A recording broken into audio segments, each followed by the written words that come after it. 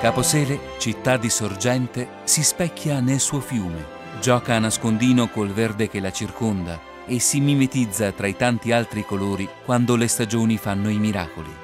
Caposele riposa sotto il Paflagone, sbircia le gole montane del Vallo Antico e si inebria tra le cantine di Catapano. Poi si risveglia, fissando lo sguardo verso il suo fiume, che corre rapido verso la piana, dove si sposa con il Tirreno. China infine in segno di devozione il suo capo verso la collina, ad oriente, dalla quale un santo, povero ed umile, gli sorride promettendogli protezione.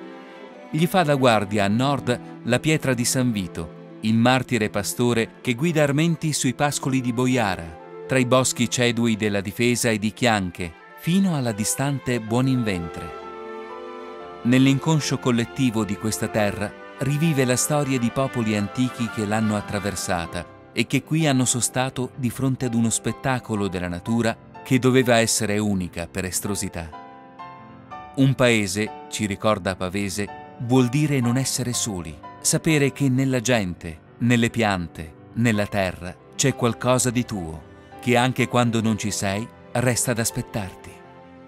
E Caposele, città di sorgente, aspetta tutti invecchiando lentamente, ma anche rinnovandosi con equilibrio e moderazione. Caposele aspetta i suoi concittadini lontani.